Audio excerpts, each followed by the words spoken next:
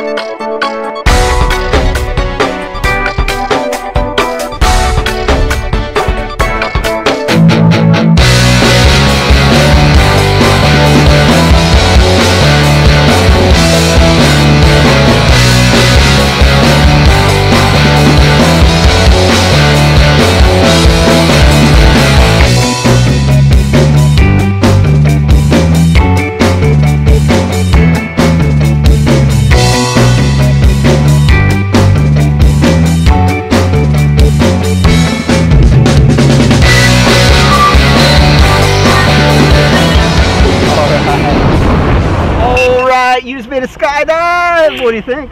Cool. Yeah. What was your favorite part of all that? Uh, the out part. Jumping off? Yeah. Awesome. Give you a big high five. Big thumbs up. Say blue skies. Blue sky. Skydive Taft. We'll see ya!